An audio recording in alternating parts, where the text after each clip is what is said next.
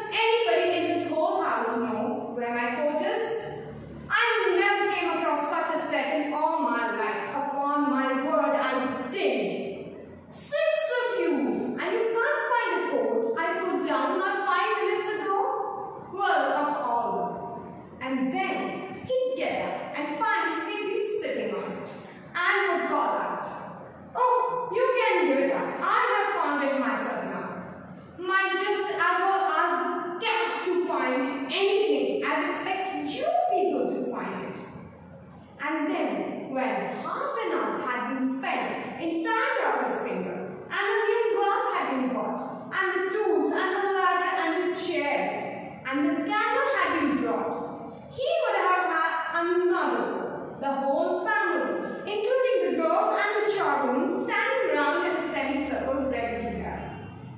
Two people would have to hold the chair. A third one would help him up on it and hold him there. Fourth would pass him the hammer. Fifth would pass him the nail. And he would take hold of the nail and. There, he would say in an injured tone. Now the nail's gone.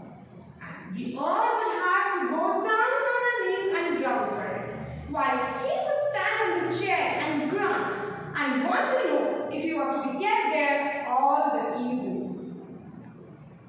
My next piece is a poem titled If by Rudyard Kipling. This poem is in the form of parental advice to the son John. If if you can keep your head when all about you are losing theirs and blaming it on you, if you can trust yourself when all men doubt you, but make them allowance of their doubting if you can wait and not be tired by waiting,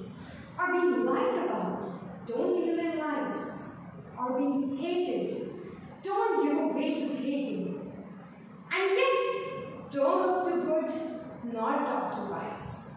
If you can dream and not make dreams your master, if you can think and not make thoughts your aim, if you can meet with charm and disaster and treat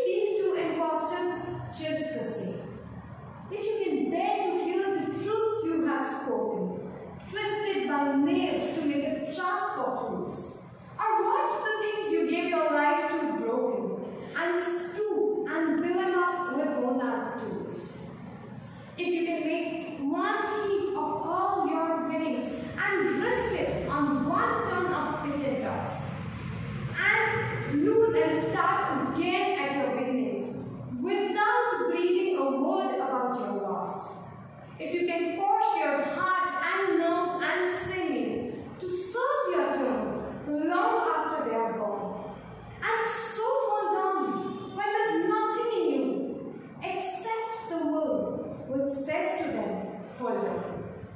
If you can talk with crowds and keep your virtue, or walk with kings nor lose the common touch. If neither foes nor loving friends can hurt you, if all men count with you, but none too much,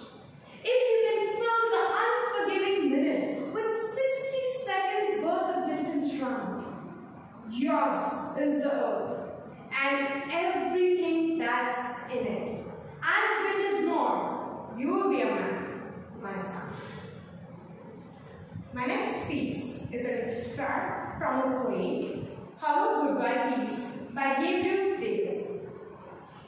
In this scene, Alina is uh, a barista in a Manhattan coffee shop and she is ambitious and dreams of climbing the economic ladder. It's titled Fireball.